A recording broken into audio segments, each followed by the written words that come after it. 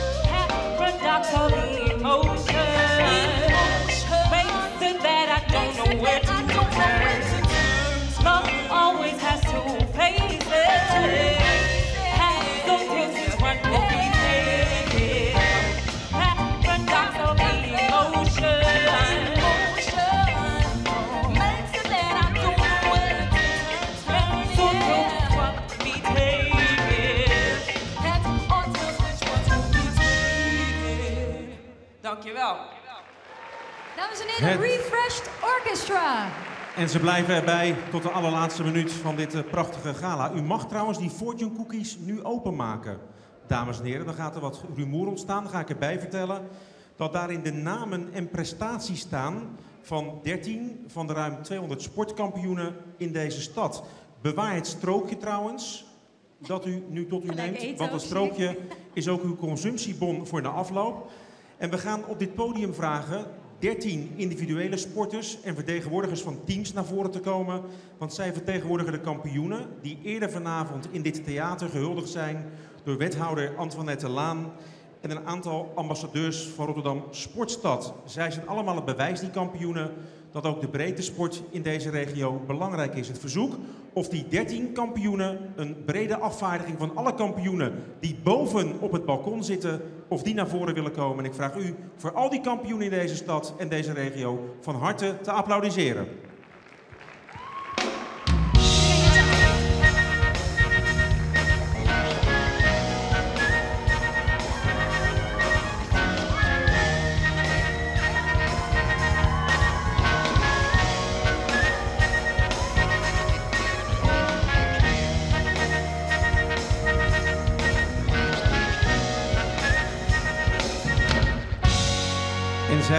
Vertegenwoordigen dus de ruim 200 kampioenen. Zit op het, eh, op het balkon. Nogmaals uw applaus voor al deze kampioenen. Voor de breedte sport. Ook eh, Fatima en ik hebben in de coulissen zo'n eh, fortune cookie opengemaakt. Ik heb het strookje achtergelaten voor consumpties na afloop. Op mijn strookje stond het seniorenteam van 010 Trojans won in 2013 het kampioenschap van de derde divisie American Football. Van harte gefeliciteerd. Als goed is, is Edo van der Woude hier. Wie is Edo van de 010 Trojans? Die zit boven, die is niet op het podium. Nou, dan fe- feliciteren we jullie van harte. Fatima, wat stond er op jouw strookje? Ja, op die van mij stond, die heb ik dan, Mohamed Melouk en Adil Belkadi van Abdel Kwan Rotterdam wonnen in 2013 meerdere indrukwekkende taekwondo-prijzen. Nou, volgens mij zijn jullie dat niet. Waar zijn Ook op de en tweede Adil? had ik in. Oh, hier staan ze, gelukkig. Jij bent Adil. Oh, Mohamed. Hi. Hey, eh, maar welke prijzen hebben jullie dan gewonnen die zo indrukwekkend waren? Nou, ik heb eh, in januari eh, de Nederlandse kampioenschappen gewonnen. En eh, verder eh, heb ik in Duitsland de regiokampioenschappen gewonnen. Afgelopen twee maanden geleden met het eh, Nederlands team. Wat cool zeg. Dus wij gaan jou nog zien voor Talent Award in de komende jaren waarschijnlijk. Ja, dat zou best kunnen.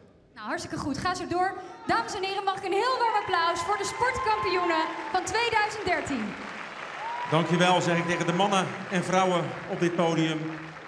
Ja, jullie mo- mogen weer gaan. Het is een beetje onbeleefd op jullie eigen feestje, maar we danken jullie voor het eh, wandelen en eh, staan op dit podium. De kampioenen. Tot snel hopelijk, Van jongens. deze regio. Succes.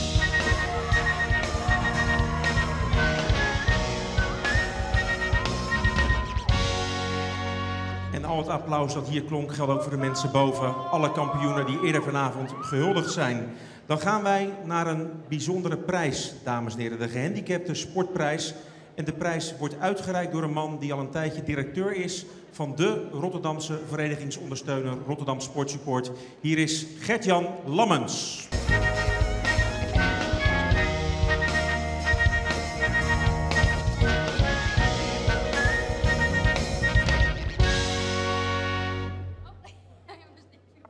Gert-Jan, kom, kom er even bij een beetje naar voren. Nou ken ik weinig directeuren van sportorganisaties die even sportief zijn als jij. Want het gaat net over taekwondo, het gaat over vechtsport. Jij weet ook van band, hè, geloof ik? Nou, van vechtsport niet, maar ik vind als je directeur van zo'n organisatie bent dat je wel het voorbeeld mag geven. Wat doe jij allemaal zelf aan sport? Ik eh, probeer eh, één of twee keer in de week in de, in de fitnesszaal te zijn en eh, als het even kan op een racefiets. En dat eh, gaat goed, geloof ik. Hè? Je bent erg fanatiek. Nee, het eh, prestatieve is er wel vanaf. Eh, dat kan ook niet anders. Als je een baan hebt als directeur bij Sportsupport, dan blijft er weinig tijd over om op hoog niveau nog te sporten. Dus het is nu meer vanuit eh, gezond blijven en, en fit. Dus dat is eigenlijk het belangrijkste. Ik zei het al, jullie ondersteunen in de breedste zin van het woord de Rotterdamse verenigingen. Hoe gaat het met die verenigingen in zijn algemeenheid?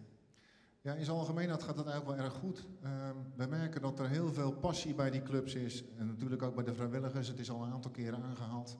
Hoe belangrijk dat is dat die mensen zich dag in dag uit inzetten voor zo'n club. Maar dat er ook steeds meer eh, eh, ruimte komt voor clubs om na te denken over iets meer doen, iets meer zijn dan eh, alleen die club in die tak van sport. En dat, dat symboliseert deze prijs ook waar we vanavond voor staan.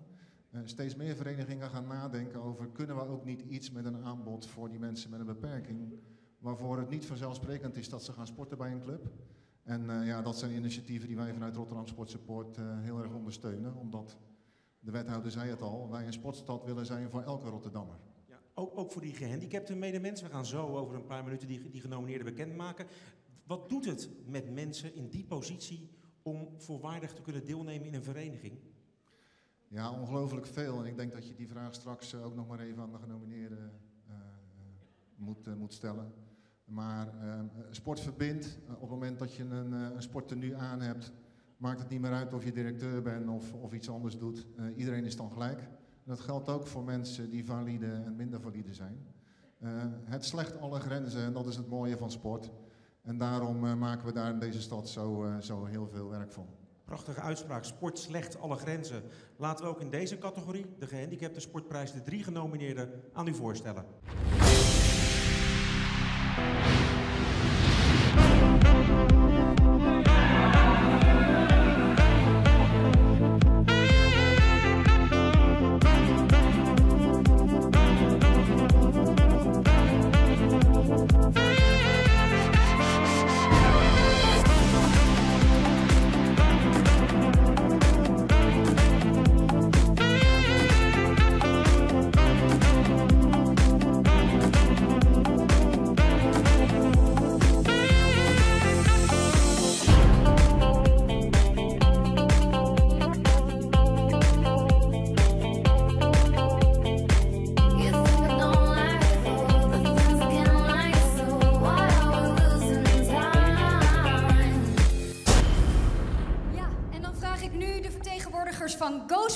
Caroline Romein, RHV Leonidas Eberhard Neling en Stichting Plons Mark van der Heijden hier op het podium.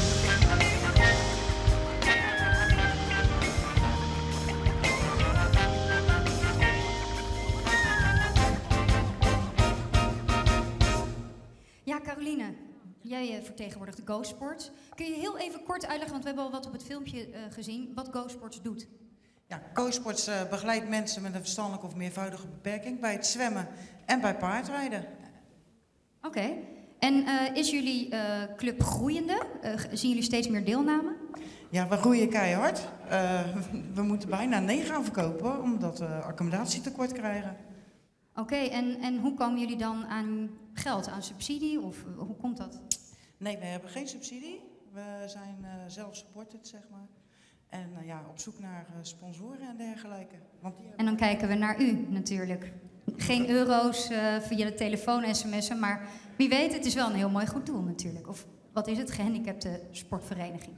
ja, Mevrouw Robijn, u, u maakt in de praktijk van alle dag mee. En dat fascineert me. Wat dit doet met mensen die in zo'n positie functioneren. Wat, wat doet het met ze om lekker te kunnen bewegen, te kunnen sporten? Eh, dat doet met hun eh, heel veel, eh, zowel op sociaal gebied als op ontspannend gebied. Het is heel belangrijk dat ze wel heel erg in de privacy bezig kunnen zijn. Want ja, dat is vaak iets wat in de openbare ruimte ja, toch niet kan. Nou, heel goed. Dan ga ik heel eventjes naar Eberhard, Neling, van RHV Leonidas. Ehm, jullie bieden al jaren G-hockey aan op eh, Leonidas, maar ik las ook LG-hockey. Leg eens uit wat dat is. Ja, dat klopt. We zijn eh, eh, vorig jaar begonnen met LG-hockey.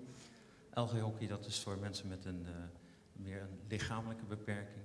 En, ja, Oké, en wat ik me nou altijd afvraag, want jullie hebben al jaren die hockeyvereniging. Hoe coördineren jullie dat met, eh, zijn het vrijwilligers die dan eh, training geven en coachen? Of, het lijkt me toch dat er veel mensen aan te pas moeten komen. ja, we hebben een heleboel eh, vrijwilligers die allemaal training geven. We hebben een meisjes A-team geregeld. Die met veel plezier komen training geven bij ons. Heel goed. Fatima, stop eens even. Ik ga je Ja. even iets vragen. Het is een beetje een tijd van het jaar waarin je dingen voor elkaar doet. Hè? Waarin je onbaatzuchtig bent, mensen vooruit helpt. Zijn er mensen die bij Leonidas hockeyen in de zaal? Zijn die er vanavond? Ja. En ik zie aan zijn hoofd, kop wil ik bijna zeggen... is het jouw wens om een keer een clinic, een training van Fatima te krijgen? Nee, zegt hij. Hij zegt nee. Hij zei nee. Ik Echt dacht, perfect. wel, Kijk, wel, oh wel. Jij bent mijn vriend, jongen. Jij bent Nee, inderdaad. Dat kan ik ook helemaal niet meer. Maar Kijk hoe fit ik ben. in deze tijd van het jaar ga jij nu een prachtig menselijk gebaar maken volgens mij. Ja, jij gaat als eh, vrijwilliger een, een, een trainingje of twaalf bij Leonidas. Oh, ik dacht meer aan een geldbedrag doneren, maar... Geen geld. Nee, geld niet. Oh, Eén geld is keer- niet nodig. Eén Geld is niet nodig. één keer twee uurtjes, Vaat. Ja, als ik, als ik dat kan. Ik bedoel, eh, ik kan zelf niet eens, eh, ik kan zelf niet eens G-hockeyen bijvoorbeeld. Nee, maar als je... Als je gewoon kan hockeyen is het ook prima. Nou, Oké, ja, ik, eh, peer pressure. Hè. Dus u Ja. heeft die sms'jes gestuurd. Ik ga natuurlijk gewoon training geven. ze Daar komt het ja, op neer. mooi. Ze kan niet meer terug. Mark van der Heijden van de, de Stichting Plons. Ja, nu ben jij aan het bedenken wat ik bij hun kan doen. Ja, ik ben heel hard aan het nadenken nu, inderdaad. Jullie zijn aan het zeilen met mensen met een handicap. hè? We zagen net prachtige beelden. Ehm, hoe belangrijk is dat voor deze doelgroep? Watersport is natuurlijk een sport voor, eh, wat, wat eigenlijk voor iedereen met een beperking gedaan kan worden, ongeacht welke beperking je ook hebt. En je merkt gewoon dat het een gigantische blijheid eh, geeft aan de mensen. Jullie zijn continu bezig om, om mensen vooruit te helpen in het leven. Jullie zijn ook bezig met de Special Olympics, heb ik begrepen. Wat kun je daarover zeggen? We hebben eigenlijk twee Olympische trajecten. Een eh, Paralympisch traject, eh, ook door de boot die we hebben, een sonar eh, voor mensen met een lichamelijke beperking. En we zijn dit jaar uitgenodigd om in Friesland te gaan zeilen voor de Special Olympics. Daar zijn we nu drie teams voor aan het opleiden. Dus, Is het jullie gevoel, hè, zonder sentimenteel te willen worden, dat je mensen echt een zetje geeft, dat je ze vooruit helpt? Ja, watersport is iets wat we natuurlijk zelf doen als, als hobby. We zijn allemaal eh, eh, vrijwilligers met een, eh, met een watersporthart. En als je dan mensen in de boot kan krijgen die er normaliter niet mee aanmerking komen, dan, ja, dan geeft dat een goed gevoel. Drie prachtige initiatieven, drie prachtige verenigingen. We gaan nu met Gert-Jan Lammens in de hoofdrol bekendmaken wie deze gehandicapte sportprijs 2013 gaat winnen.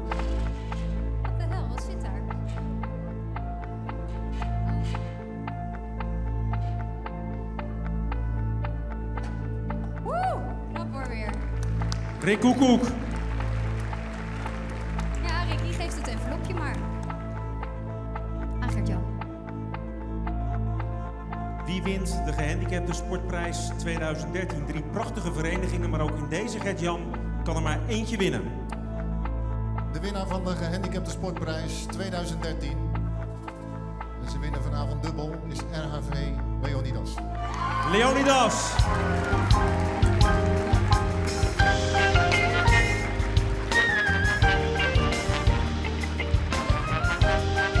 Ook uw applaus voor Go Sports en Stichting Plons, dames en heren.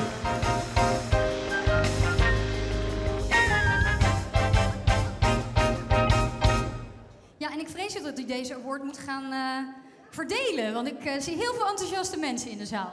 Ja, wij eh, eh, doen de bekers die we winnen op toernooi. Die geven we altijd door aan alle spelers. En soms dat hij weer een keer terugkomt. Oh, hartstikke goed. Nou, wilt u nog iets kwijt? Eh, nou, ik wil als, alle spelers eh, bedanken natuurlijk voor de gezellige wedstrijden en eh, zaterdagen die ze altijd eh, met ons eh, doorbrengen. Hartstikke leuk. En de trainers en trainers natuurlijk ook. Nou goed, van harte gefeliciteerd Leonis. Ga door met dit mooie werk. Leonidas, dames en heren, de winnaar van de gehandicapte sportprijs. Ik ga een voorzetje geven, Fatima. We hebben niet afgesproken, maar er is natuurlijk door de organisatie nagedacht. Welke persoon laat je nu in welke categorie de prijs uitreiken? Daar is nu een heel logische link, Fatima. Het woord aan jou. Ja, want eh, de volgende categorie is een hele mooie categorie, namelijk de sportvrouw van het jaar. En degene die we daarvoor vroegen was daar heel makkelijk voor te porren. En dat is de voetballegende van Rotterdam, John de Wolf.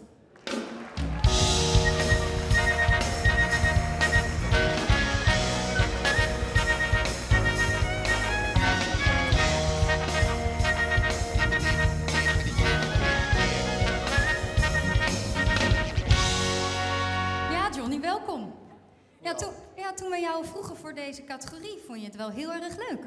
Is het zo? We zochten een Nee, womanizer. ik, ik hoor het net. Dus We zochten een womanizer, John. Echt waar? Nou ja, ik, eh, ik was gevraagd om een prijs uit te reiken. Ja, en eh, volgens mij gisteren heb ik pas gehoord welke prijs. Dus. Aha. Ja, ja, ja, tuurlijk. Nee, nee, we geloven je allemaal. hey, maar ehm, als jij nou een vrouw was geweest, wat tikkeltje onwaarschijnlijk. Als jij nou een man was geweest. Ja, dat komt zo. Maar als jij nou een vrouw was geweest, welke sport was je dan gaan doen? Klassiek ballet wordt daar geroepen. Eh, Nooit over nagedacht? nee, eigenlijk niet. Nou ja, Ik heb er wel eens over nagedacht als ik een vrouw zou zijn. Ja. John, kom Wat er even bij. Kom er even bij. Hier, hier willen we veel meer over weten. Nee, eh, laten we het lekker over de sport Was, was je toen 18 Laten we of... Nee, stop even. hebben. Was je toen 18 of 30 toen je die gedachte regelmatig had? Ja, laat ik maar met jou verder gaan. zie je, ik stelde makkelijke vragen. Hey, ehm, maar eh, ben je er al uit? Wat Ballerina of eh, hockey? Of gewoon voetbal? Nou, ik denk eh, ja, voetbal of hockey, denk ik, ja. Oké, en zou je ooit, want je bent nu eh, assistent bij Sparta, zou je ooit overwegen om bij een vrouwenteam coach te worden? Zo, zo, zo. Hij kijkt me aan, echt? Nou ja, weet je, kijk, ik, ik vind het leuk om met een groep te werken, maar die groep moet wel kwaliteit hebben. Dus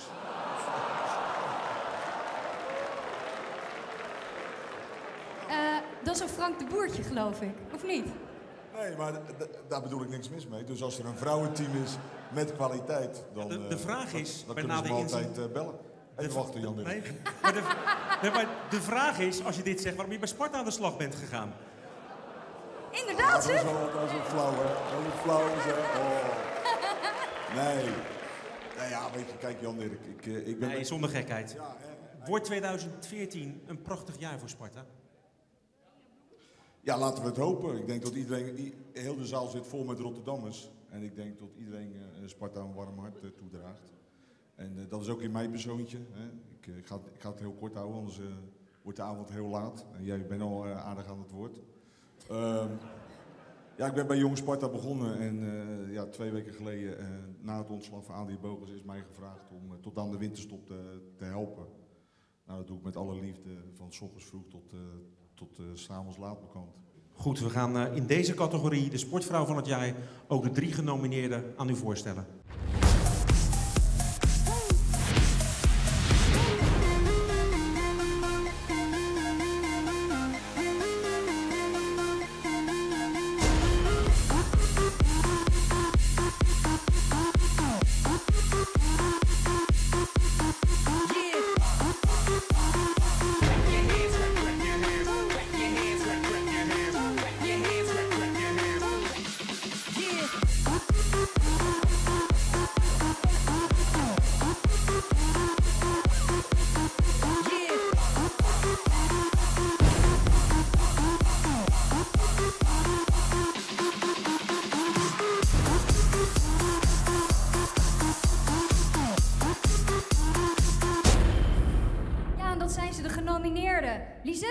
Teunissen, Rianne Sigmond en Kim Polling.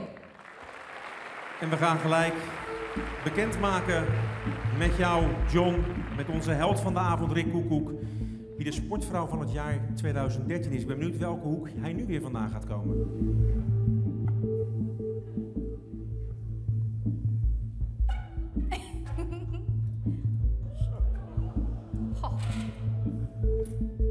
Je zal maar naast die jongen wakker worden, joh. Goed. slecht bedoeld hoor, Rick. De sportvrouw van het jaar 2013. Drie genomineerden, één winnares. John de Wolf. Lisette Teunissen. Lisette Teunissen, de sportvrouw van het jaar. Ja hoor.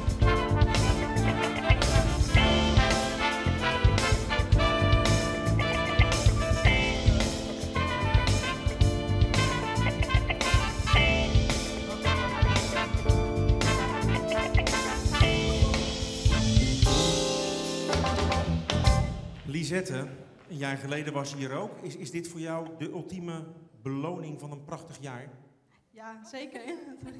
ja, zeker. Nee, vorig jaar stond ik hier eh, naast Edith en eh, toen ging zij met het beeldje naar huis. En, eh, ja, Wat dat- was je ziek daarvan, hè, een jaar geleden? Nee, ik was er zeker niet ziek van hoor. Nee, ik, ik gun het nu ook. Kim en Rian ook, had ik het ook heel erg gegund. Nee, het is echt een hele waardering op de prestaties van het afgelopen jaar. Was 2013 in één woord een superjaar voor jou? Ehm, ja, 2013 was wel een heel bijzonder jaar, omdat ik eh, de 50 meter rugslag is mijn afstand. Daar heb ik nu de Nederlandse titel, Europese titel, wereldtitel en Paralympische titel. Dus het rijtje is helemaal compleet. Geweldig, hè? Even om een beeld te schetsen voor de mensen. Jij bent absolute wereldtop. Hoeveel uren per week stop jij in je sport? Nee, ik ben zeker wel 20 tot 30 uur bezig per week eh, in mijn sport. 20 en altijd met, met, met, met plezier? Ja, zeker. Altijd, nog wel. Altijd met plezier, ja. Goed. Ja, Hoe mooi oud hè? ben jij nu? Ik ben nu eh, acht- 27. En wil je nog lang door? Eh, nou, zeker tot Rio eh, 2016 eh, nog een keer de Spelen meemaken. Ah, hartstikke mooi. Wil je nog iets kwijt? Eh, ja, ik wil natuurlijk ook even iedereen bedanken die op mij gestemd, he- gestemd heeft. Het is echt een eh, hele eer. Ik vind het ook een hele eer om hier te staan als eh, Rotterdam Topsport. En eh, voor de rest, ja, mijn familie natuurlijk bedanken. Die zijn het belangrijkste voor me. Een prachtig mens. Lisette Hartstikke Teunissen, mooi. dames en heren.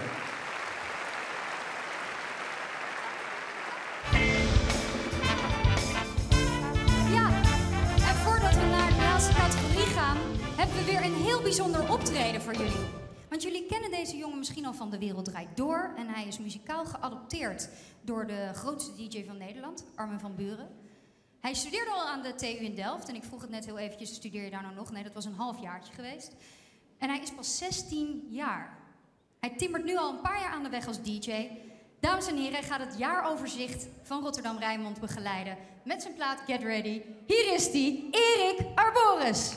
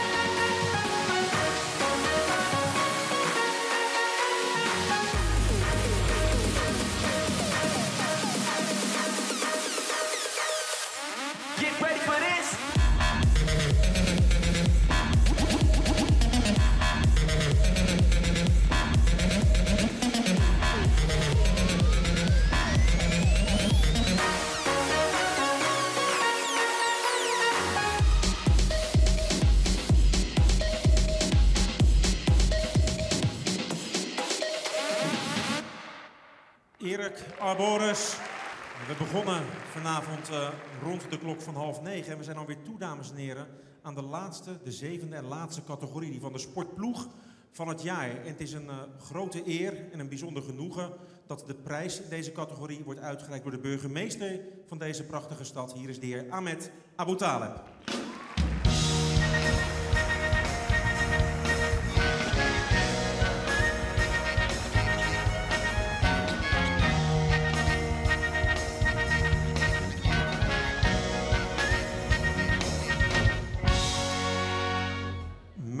Abu Taleb, nou zit ik elke thuiswedstrijd, maar ook elke uitwedstrijd in de Kuip verslag te doen. In de Kuip kijk ik wel eens rechts achter me, daar, daar zit u regelmatig.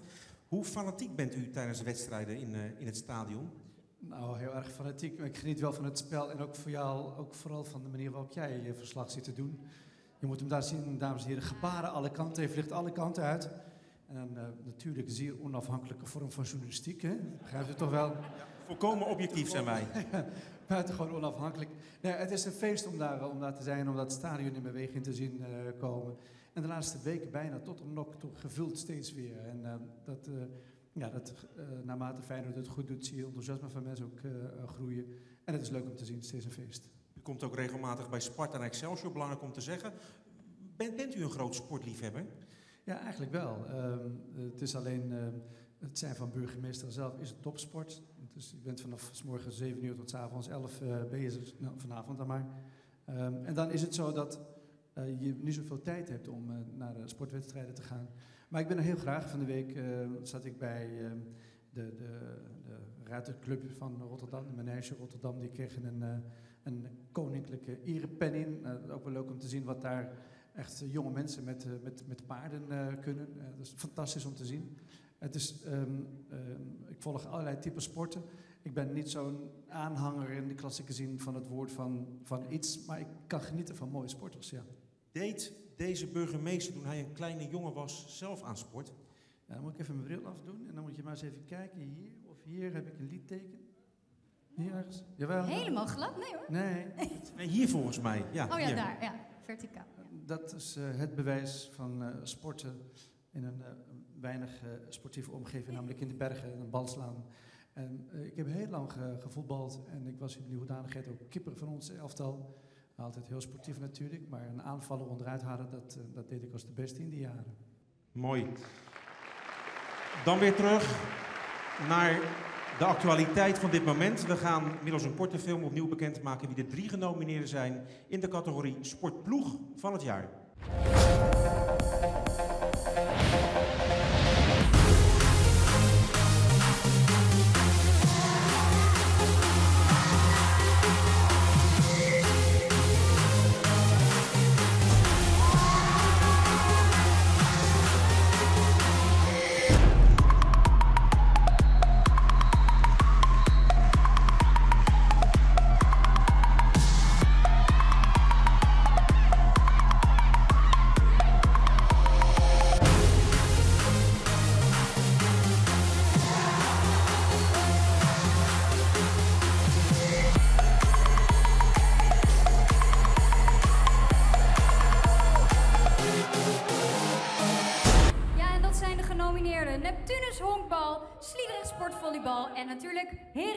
Rotterdam voor hockey. Goed, en dan gaan we nu bekendmaken met de burgemeester wie de sportploeg van het jaar 2013 is. Opnieuw een hoofdrol voor Rick Koekoek, daar is hij, achter ons.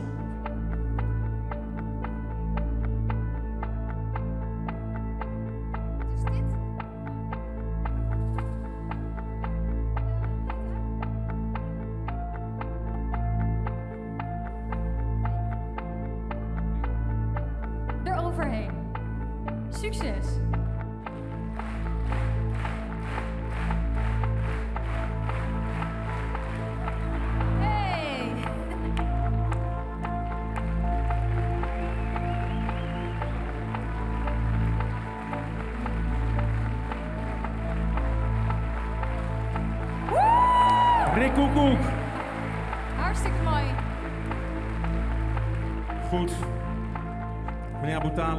Drie genomineerde ploegen. We hebben het al gezegd, hè. volleybal, honkbal, Hockey, wie is de sportploeg van het jaar 2013? Hockeyclub Rotterdam. Hockeyclub Rotterdam, dames en heren. Kom er maar bij,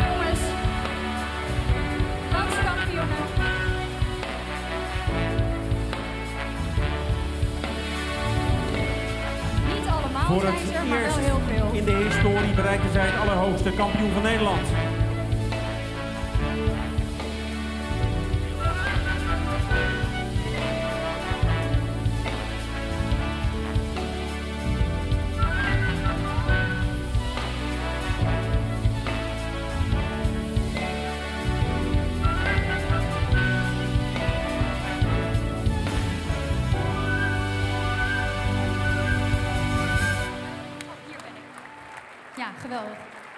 Burgemeester.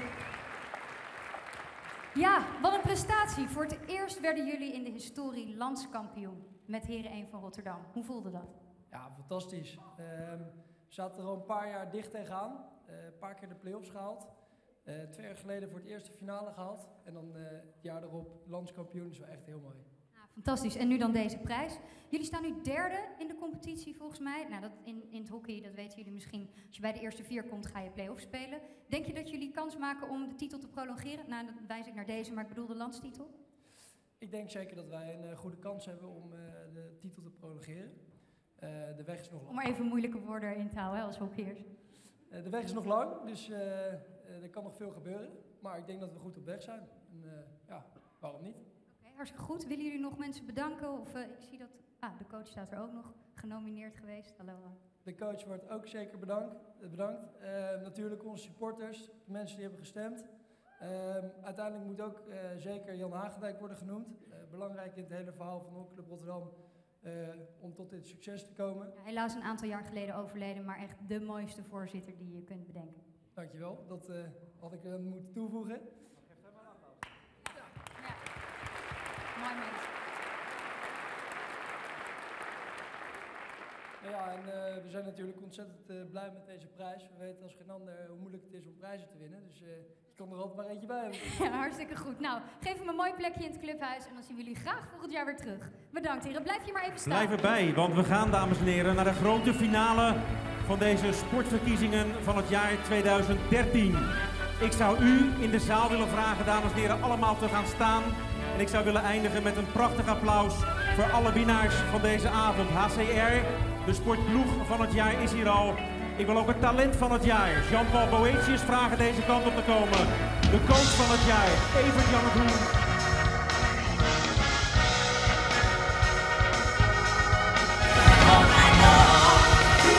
Nog eenmaal uw applaus voor de sporthelden van 2013.